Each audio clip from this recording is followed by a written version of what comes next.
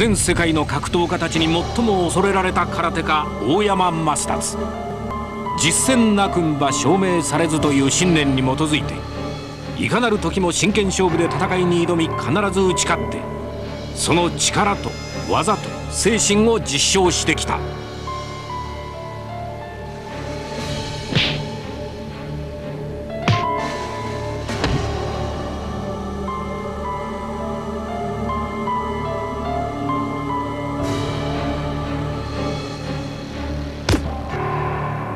あらゆる格闘家たちに圧勝し向かうところ敵なしとなった大山が次なる相手として選んだのは猛牛だった。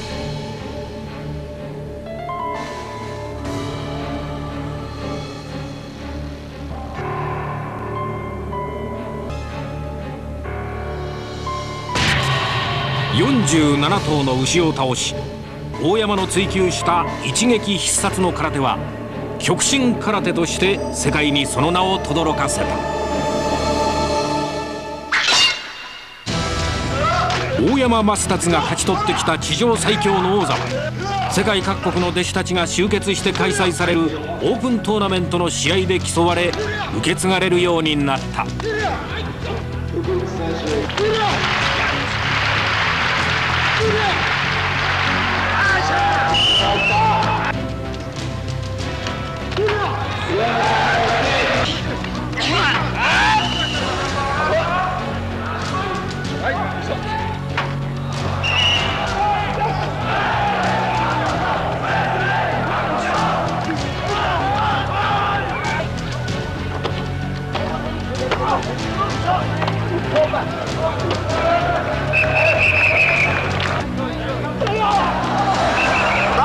極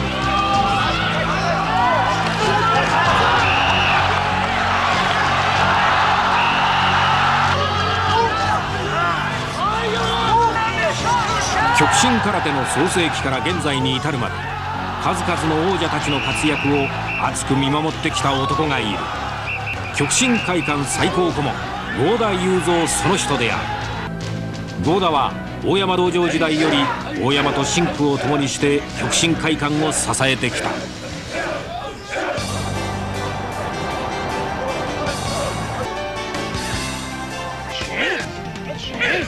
東京城東支部の支部長でもある合田は北区田端に道の指導に余念がない。ぶち壊しの空手と武術界から最も邪道視されていた大山道場時代。当時18歳だった合田は空手の門を叩いた。以来40年片時も空手着を離さず空手人生を歩んできた。そしていついかなる時も。うんうんうん。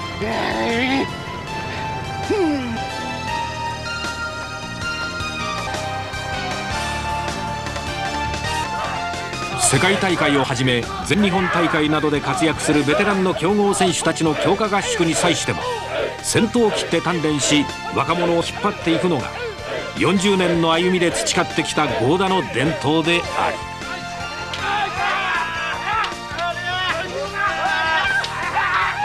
恒例の三峰山冬季合宿の荒行。滝浴びの政権好きも合田は欠かしたことがない。およそ30年前の貴重な映像である。その頃すでに日本の極真会の重鎮であった合田はトーナメントで活躍する選手たちに一目置かれ素手でレンガを割る一撃必殺の試し割りは高い評価を受けていたという。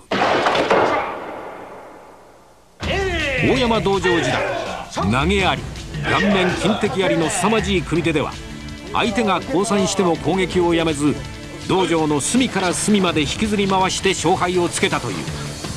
当時道場破りも多くまともに返すと大山はどうして担架に乗せて返さないんだと劣化のごとく怒った。その時代合田の右政権好きは他を寄せつけない圧倒的なパワーを持っていた。その合田に右政権を生かした一撃必殺の組手を再現してもらった。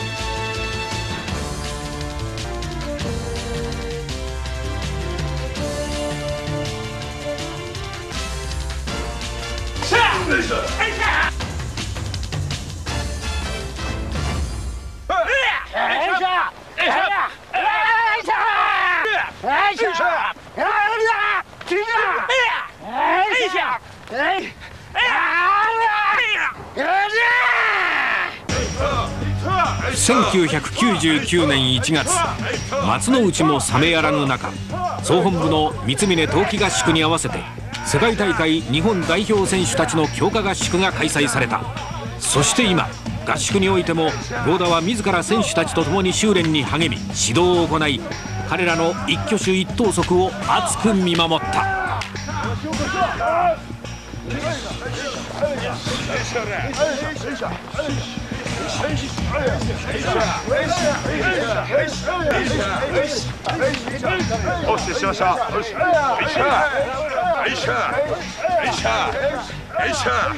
第24回全日本王者田村義弘。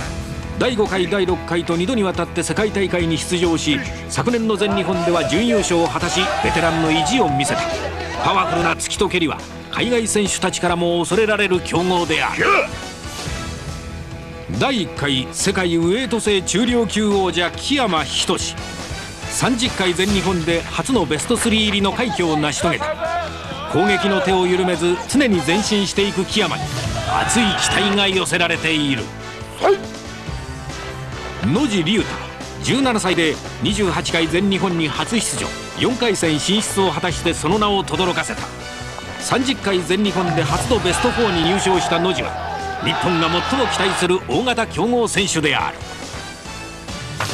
高久正義第1回世界ウエイト制軽重量級王者である30回全日本で5位入賞を果たし2度目の世界大会出場の切符を手に入れた。市村直樹第20回全日本6位である。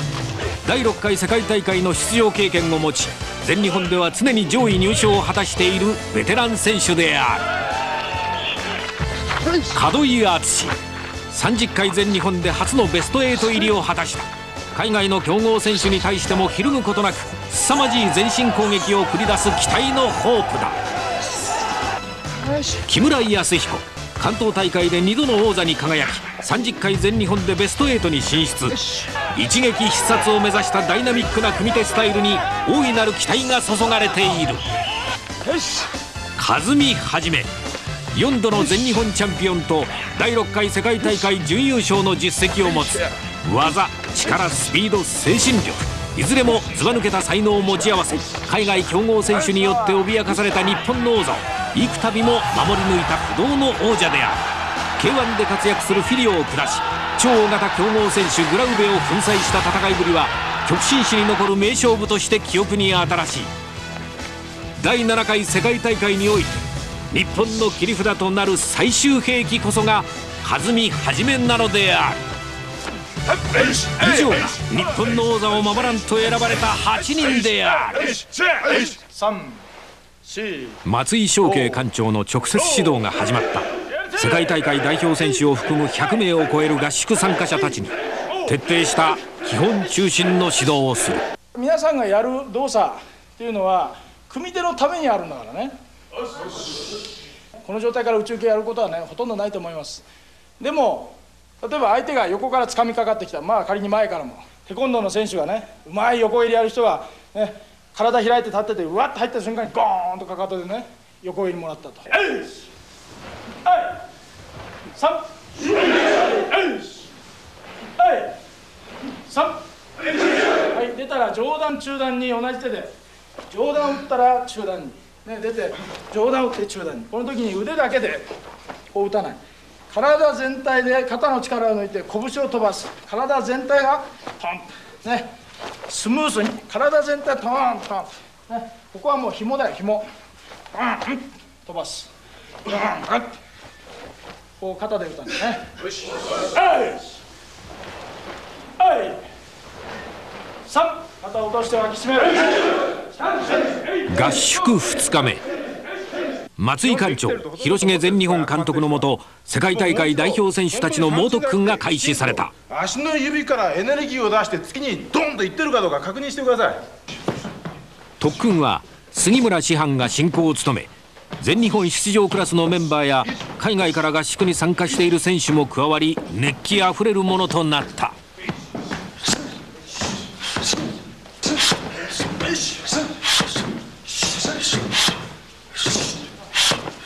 前に行ってトンとつくんだな。ところがそれはやはり体重の移動だから剣の打ち出しがポンと一致した時に威力出るんだね。がパンと床についた瞬間と剣の当たるタイミングってこれはターンと一緒のはずなんだよ。これがちょっと速くなっちゃうバランス崩れるし遅くなったらただ筋力の力になってしまう。自分の前進する。もう威力がパンと剣にいかないと、ね、だからちょっとタイミングうまくパンと当たる瞬間一致させるようにしてください。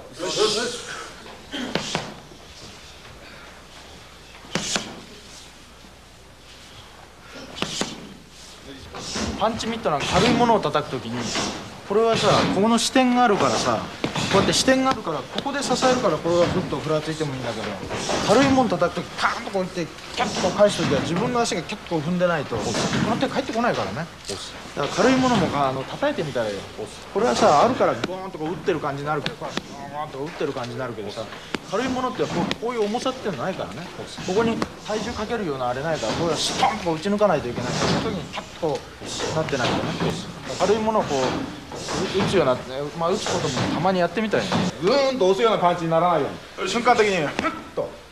自分の重心瞬間的にふんと下に沈めるようなねじ込むような切りで切りでグリッとグリッとねじ込むようなつもりで呼吸をふっと締めてふっと出していくように、ね、そうすると入っていくんだけどただポンポーンと流してしまうとなんかこう力がそこに集約されないような感じになるから。よし送り足で移動して入って下がりの時は叩いたら送り足で下がるようにして。よしよしなるべく前を取って送り足でさっと入るようにしてくださいね。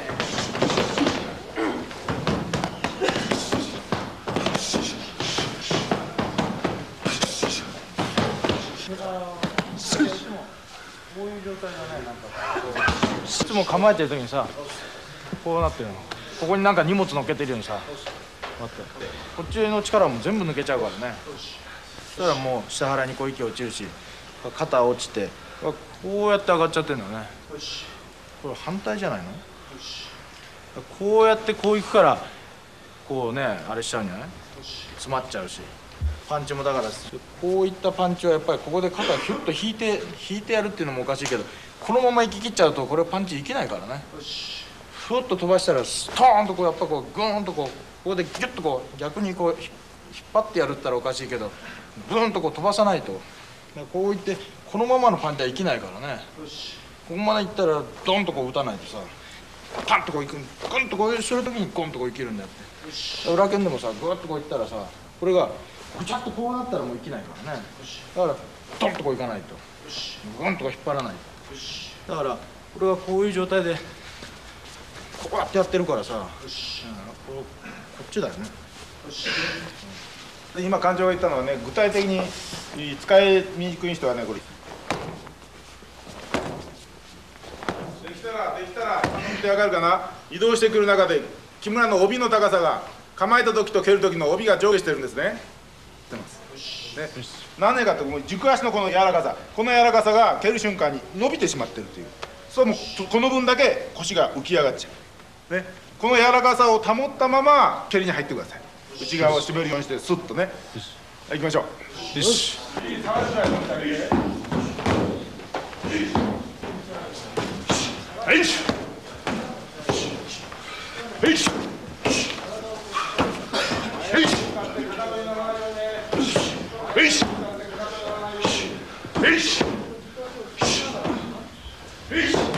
ここで前を取るという方法もあるだから来たのに対していちいちこうやって前を取りながら前前行ってみこうやってこうしながらドンとこう蹴るとこうやってしながら蹴るっていうだけじゃなくて詰まってきたらパッとここで前を取る方法もある。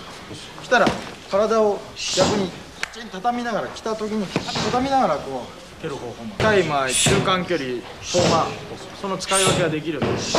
それもつも4の時あれだけどブランブランって出してくる必ずこうちゃんとこうポリで使わないと。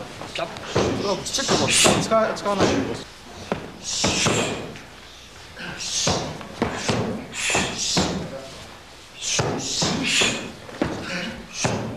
あのなんか知らんけどお前かかとに乗っけるっていう癖がある。体重を。じゃあかかとに乗っかってこうなんか組み手やってみなその蹴り出ねえぞどんなに技を使っても今日笑っちゃったけど館長が後の真似するとそっくりだったよね。あの動き方をやってその蹴りは出ねえでしょ自分で。細かい動きしようと思ったらつま先だからねつま先に乗ってないとパーッとこう動く時でもさだから今みたいなパンチでも蹴りでもさ詰まってる時に自分の体を遠ざけてっていうこういう観念があればここで押す必要なくなるじゃない押さなくても結局押さなくても自分でこうやってカッとこうあれできるわけよ。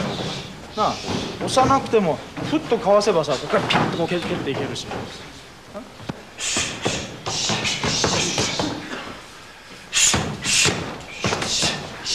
前蹴りとか何でもそうだけど力の方向はこの帯の結び目だから。よし蹴った時に帯の結び目がこっち向いたら力の方向はこっちにあるから。それで前蹴ってもダメなんだよ。だから前蹴りはさっき見てたらこうやってやりながら腰回して蹴るけどこんなことやったらダメ。前にドンとこう帯の結び目ドンと前に置きながらポンとこう蹴らないと。このままの状態で片足出すからどうしてもちょっとひねるかもしれない。これは勢いでひねるのはあれだけど腰をこういうふうに流しちゃダメ。よし。もう前のこの帯の結び目がある方向に力って出てるから。だから回し蹴りはこれでいいわけだ。よし、まあ、横蹴りなんかの場合はまたちょっと違うけどこういう方向でだからこれはストン。く腹筋の収縮をバチン。このまま使えばいい。グラン。よし、ね、そうしないとこういう蹴り方してたらさこの足下げられないしね。よし。こういう蹴り方だったらいくら蹴ってパッパッと下げれるじゃないよし。捨て身で蹴るんだったらボーンこれでもいいよ。また意図してさピャッとこうこういう蹴り方するんだったらそれも一つだろう。けどでもこれもよく考えてみたら足の方向に帯の方向がこう合ってるわけじゃん。ストップよし。そういう蹴り方いいけどこっちに向きながらこうやって蹴るのはこれダメだよ。よし。そういう蹴り方しない。よし。まあで木山もちょっと肩がもう入るから。逆に肩をちょっとこうしてやったらもっとパンチ効くと思うよ。基本の時もさ結構こうなってんだよな。チェッ。クストップ。こう肩は使うけど肩流さない、ね、肩はこう使うんだけど流さない。人間の体はこうやってあれしてさここまであれしてここまで来たらもう体勢崩れちゃうからね。こういう状態にしちゃったらもうあとはもうね糸簡単に崩れちゃうんだから。こういうこういう状態でここまでフルに使うけどこれがこうなるような使い方しちゃダメ。ここまでは使うけどこれはこうなるような使い方しちゃダメ。構えても。こうやってやらないで。これはもうこのままトントントントントントントン。ほらこうなっちゃうと逆に肩で自分のあれを潰しちゃうから。ちょっとやったらもこれはパッこれもまっすぐ。ポンと飛ばしてやらない。こうやってやってブロックやってえいえいいやってやって割れないですよこれ割れないよこれスッスッって言ったらチェーンとこ打ってやらないとこれたたいやって言ったらさいやーって言ったらさこれじゃ割れないんだ。からさなっちゃう。伸ばしてやらない。と飛ばしてやんない。よし。足もこうピャッと飛ばしてやんない。よし。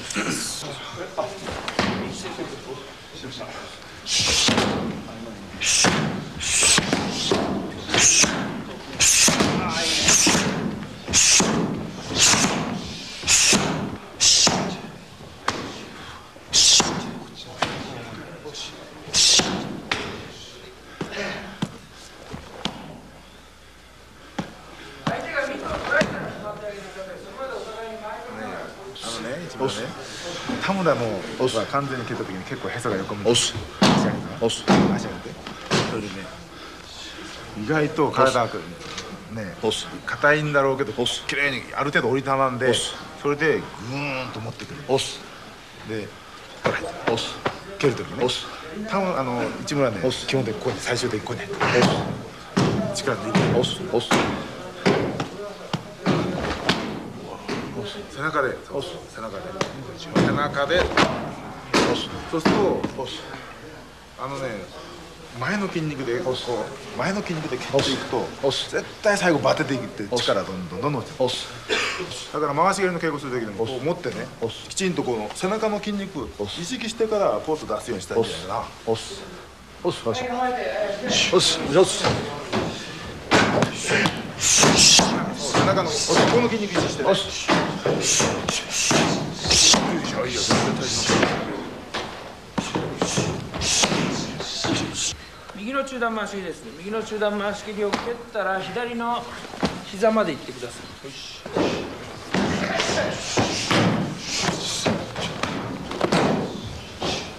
パーンパーンったらな。これもこのまま。よしでさっとこういったらもうこれもこのまま。でタッともうああこうやらなくていい。よし。力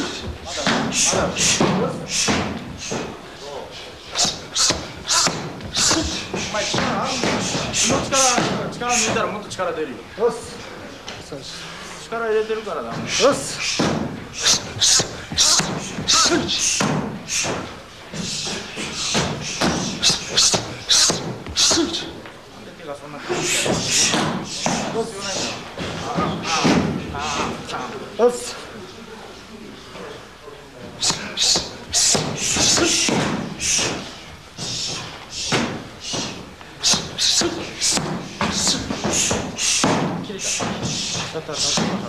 来るだろ？今みたいに来るだろ？ついてきた。ついてきた。この時にちょっと蹴ってきたポンと蹴られた。らどうす。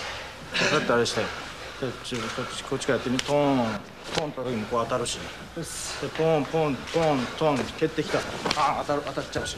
でこっちから顔蹴ってきて膝蹴り来る時にもシュッてトンともそのままいっちゃうんだよああああこうやってるからだからもう自分が出出る時は一番危ないんだからこう行く時もピャッと構えてトントンこっちから来てここに来てもいいように。だからここちょっと定めといてパッパッとこういかないとこれはもうあーンドンドン見えなかったって。まあそうじゃないんだよ。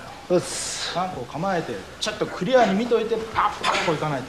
でスッと行く瞬間にこっちが上がってきても止めるのか、ね、避けるのかできるようにしてパーンと上がっていくしこちらから何かあってもパタッとこう行くようにこういかないと。これも全部自分の意図してこう動い動いてない。からこうやってやって。気がついたら天井見てたらさよしそれダメだよ。よし肘で押してじゃあ2分間今のいますんで。肘で当たってで足はコントロールする。じゃあ見た胸の方へ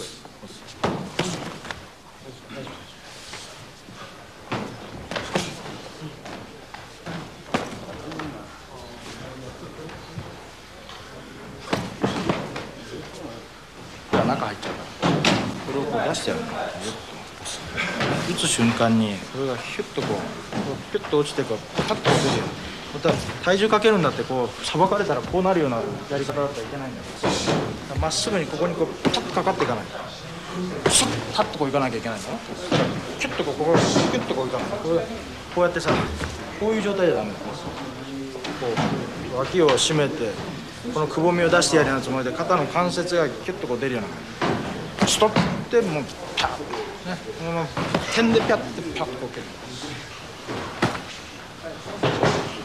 ここでここで打ったらお前自分が痛めちゃうよここで打たないとねちょっとこうピャットントン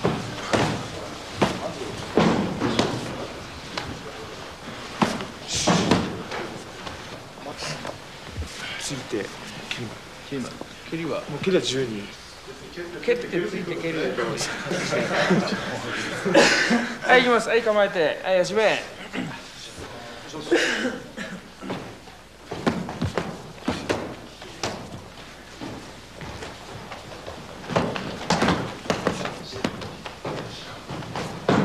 蹴った時にもし当たるならこれ今蹴って下ろして切って受ける方って言ったら、うん、ポンポンっていうのが受けにくいはずだだからそういうちょっと無駄のなさをさつけてほら今までですね降りる時にもうパンチがパーンと当たってね移動稽古とこれでパンと同じタイミングでいいから抱きしめてここへもう打つぞっていうイメージイメージがあればこの手が打つぞっていうのをポンと出していくそうそうそうそう。そしたら速くなる。ね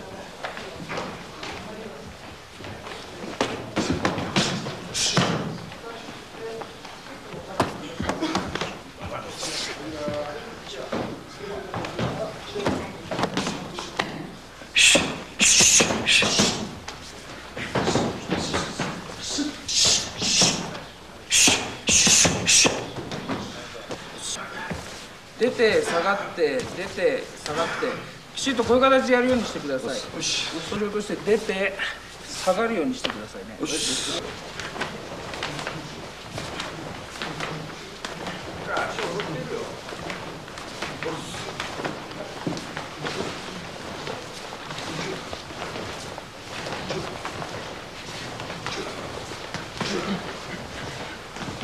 送り足で下がりまし。たスッと下がりまし。たね下がった時に昨日館長がいつも注意してた。前足の前の方に体重があるのかなみんな。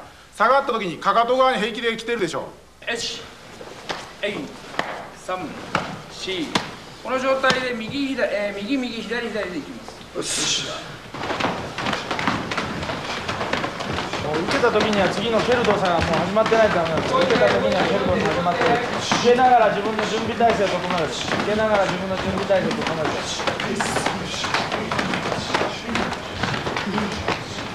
気合をなかなか昔のようなこう構えててパッと出す技だとうりゃーって気合入れやすいわけだね。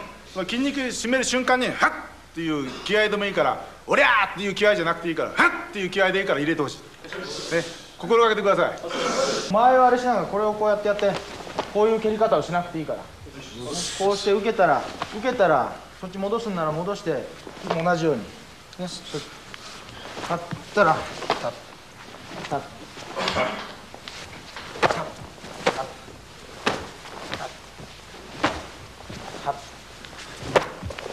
ね、こう見ながら前取りながらこうやる。はい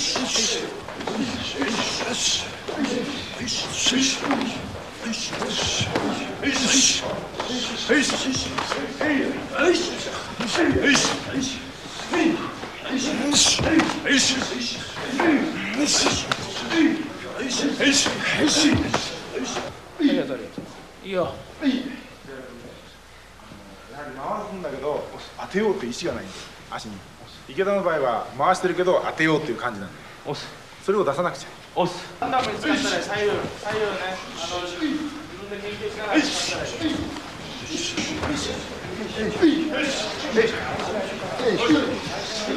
感覚を得れ取れるっていうことは逆に意識すればそれを詰めて当てることもできるということなんだからそういう意味で間合いの操作をしないとダメ相手の動作が終わった時には自分の位置がちゃんと決まって次の動作にもう即こう入っていけるようなそういうやり取りの練習なんだから。そういうものをこう測りながら常にこう動いていこうとする。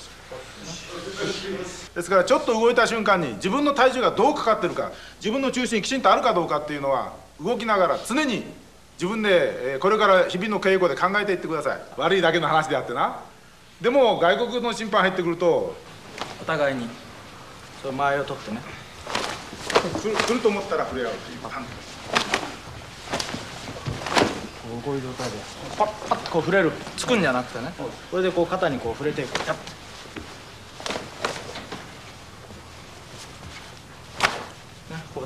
触れ合うということ片っぽは触れ合わさせ触れさせないよ触れさせないんです。だからお互いに取り合うわけだゴーンと当てちゃうのはピャッとこうタッチするんだからね。パチッパチッとこう触る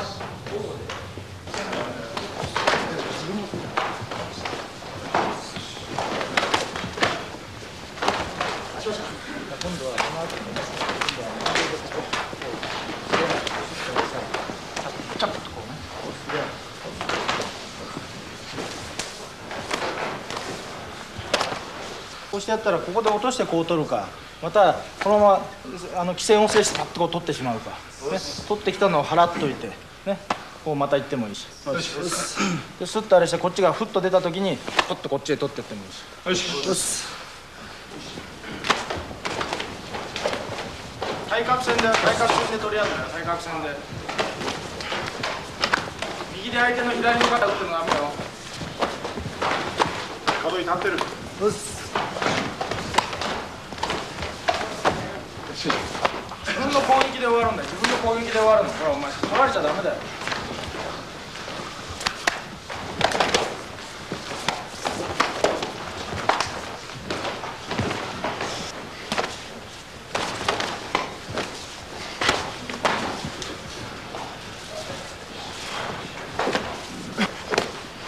前蹴りに加えてさこの中段のね前蹴りでここを引っ掛け合う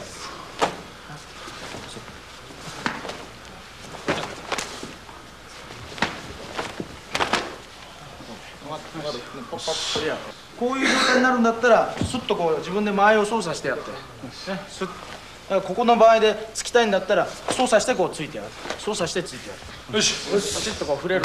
よし。よし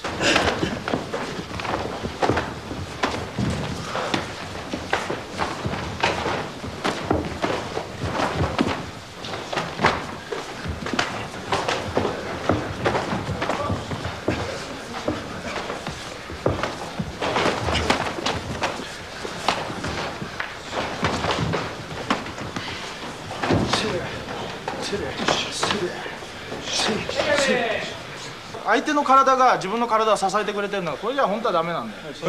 自分自身が自分の体を支えてバランスを取りながら自分の力を発揮して攻撃をすると。だからこれは止めてはいるけどもね触れるだけだけどそこをガンとこう突き込めばいいんだから、だけど突き込もうとすると今度相手の体に依存してそこを頼りに動くと。ね。そういうふうになっちゃダメね。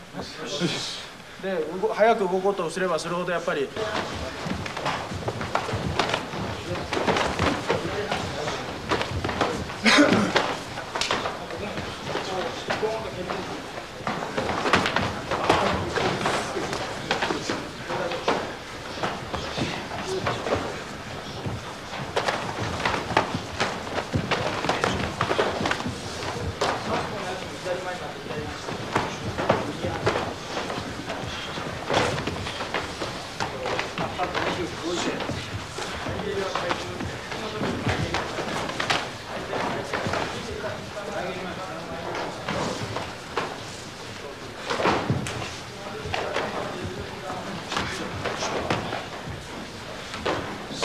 左半身の肩中段前蹴りそれに加えて下段上段ここまでいける。もうもうとにかく上段はもうモーションだけでいいからパチンここもカッとこう触れるだけ。もう本当にこうでこの触れる感覚っていうのはね蹴り込む感覚ともちあの若干違うけどもこれ蹴り抜く感覚だとどうしてもボーンとこう当たっちゃうから。そうじゃなくてここから相手の股にスッと足を伸ばすつもりでやったらパッと。伸ばすつもりでねキュッとこうやったらドーンとこう蹴り込む感覚にならない。からはい。これがスッとこうの伸びる感覚でやったらピャッとこう触れるからよし。パッパッね。パッねそういう感覚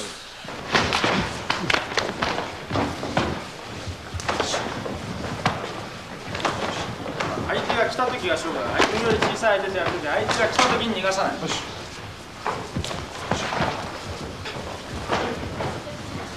君が追っかけてっても成島の方が動き早いから成島が来た時はチャンス成島が攻撃を仕掛けるその時または攻撃が終わった瞬間。はいやめ今度反対になってくださいタイミングを読むはい構えてはい始め。もう触るだけ。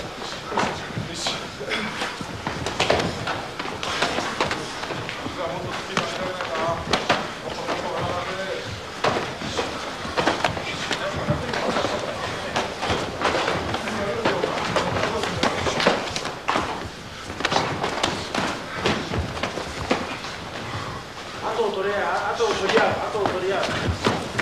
撃で終わるな自分の攻撃で終わるように自分が返し。て終わるように自分が返し。て終わるようにれていし。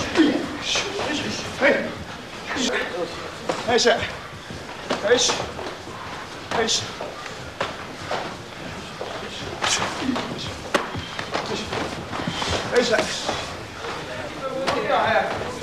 力を抜いて気を抜かないが揃っちゃう足が揃っちゃう。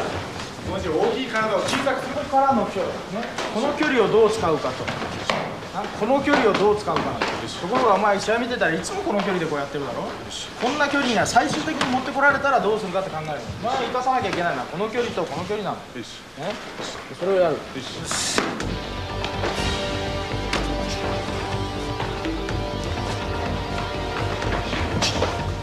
友達になっちゃってダメだろ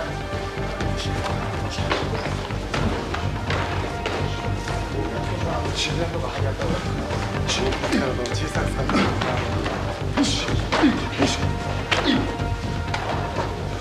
相手の攻撃がスイッチなんだからスイッチが入ったらすぐ自分が動くんだよ。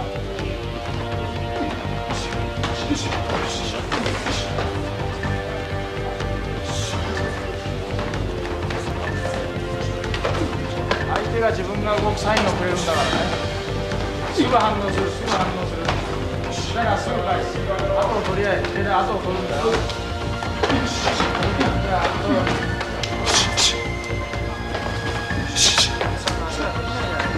伸ばす感覚伸ばす間合いをそれつまらない詰まったらポッと引けちゃうと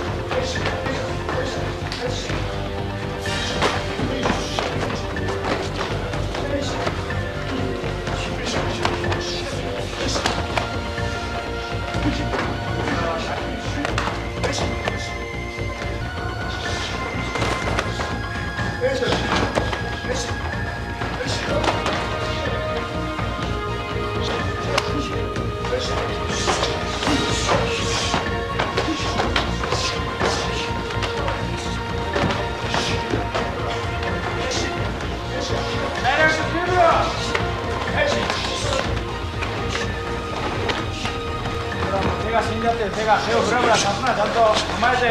よし。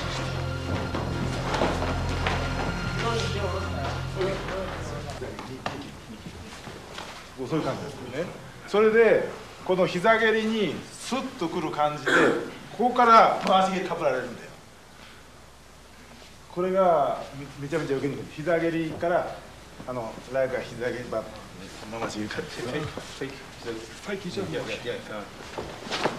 そんな感じでやると受けにくいよね。ポーンこれが。だからこれをみんなもうもらいさえしなければね。だからみんなね膝が来る時に当たらなければいいんだから。寄りかかったらこの膝上がり避けられねえんだよ。絶対に膝上がりが。これが寄りかかってなかったら来た瞬間ちょっと避ければ当たらなければいいんだから。ね。そういうことも含めてバランスちゃんと取るようにしてください。実際の動きの中でこう実際の前後左右に自分の間合いを作れるようにね。第6回世界大会以降ブラジルをはじめとする外人選手の長身とフットワークから繰り出される巧妙な足技によって日本の選手団は幾度も敗北を喫してきた。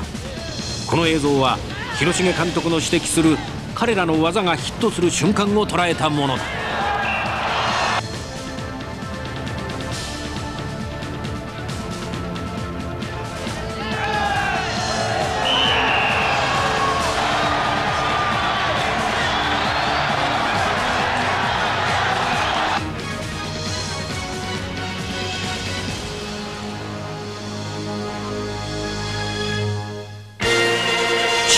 最強の男大山正達が百戦錬磨の経験から明かすキングオブテクニックとは何か？相手が倒れなかったら今度君が倒れる番だよ。おっすもう真剣にやるよ。おっす必ず相手を倒すというようなことだよおっすねえ。足をねよいしょ。一番あの重要なのはね回りながらここを蹴っていく。チャンスを見て。これ効くよいっぺんに効くから分かった君たちのね後ろ仕掛けだったら必ず肋骨が折れちゃうよ相手のだから今練習するのはもちろん後ろ引っ掛けはい引っ掛けた引っ掛けた回し蹴りこれも必要だがねもう一回引っ掛けた。はいこれはいそれもう思いっきりねできるならこのコスネで蹴っていけや分かったおっすおっすもちろんもう一回引っ掛けた引っ掛けた今度下段蹴りだよし。分かった？こんな小さい選手がねまともにぶつかったらこれ分かった？それにはね奇襲戦法しかない。長い時間かけないこと、えー勝負時間が3分間だ。3分間かけない。できるなら30秒のうちに全部ね今日してもらいたい。自分の体力をね浪費する必要はない。瞬間にねもうだそれがわからない私も。何をやれる相手がどういうことを研究してくるかわからないから。そういうことでこれをねあの本当にあの自分の早さ飛燕の技すなわちそういうものをね自分がね研究しろ分かった？取れない。取れないからね正面で行くだろうんだがね岩崎は100キロある。ここに立って。足ああ足を一歩。そうやったらね私が100キロあるたとた田村お前来て。はいお互いに拳を当ててくらそうするとねこれも100これも100当たるのはね200の力が当たるわけです。しかしだからこういうようにやってはい。毎日これがねこっちに来たらどうなるだろうか。この人がこここに来たら。ここへ来たら。これがねこの場合ちょっと待って。正面でこう見てここだけこう叩こうとしないでこれを考えてごらん。初めはああのあの効かないだろうと思うよ。しかしねだんだんこれが効いてきてここで来たら。そして連続出さなくためよ下を出す。上を出す。上を出す。下を出す。そして側面でなるだけこう。だから蹴りもね側面から蹴っていく。正面で蹴らないように。全部は相手が100キロ以上だからね。分かった？君たちはね奇襲を考えろ。君たちはねまともにぶつかってもなるだけ短時間で勝負つけることを伝統に置く。それには側面に回ること。だからいかにね左右にも直線じゃなく左右に動く方をあの研究してもらいたい。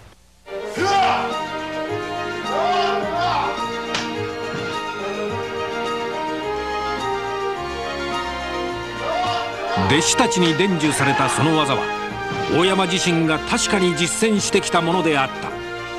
その大山が若かりし頃自ら行ったという100人組手世界制覇を目指す弟子たちも極真史上最も過酷な荒木を100人組手に挑んできた。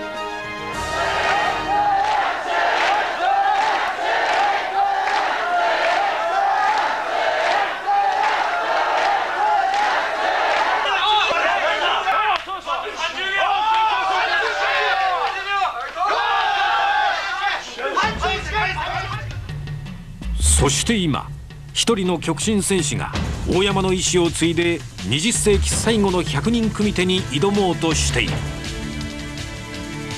最終兵器和美はじめである。この戦いは選び抜かれた精鋭100人との真剣勝負であり命がけの挑戦なのだ。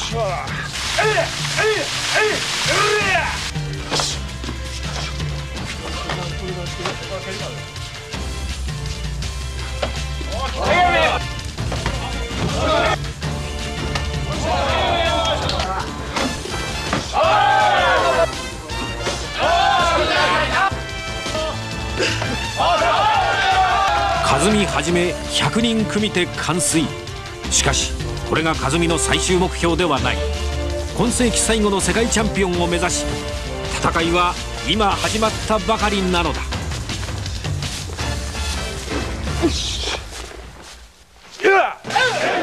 世界の頂点を目指すのは風見だけではない地上最強の王者大山マスタツを目指しその意志を受け継いで日本の王座を守らんとする選ばれた8人の選手全員が同じ決意であろう刻一刻と迫る第7回世界大会に向けた選手たちの熱き特訓は続く。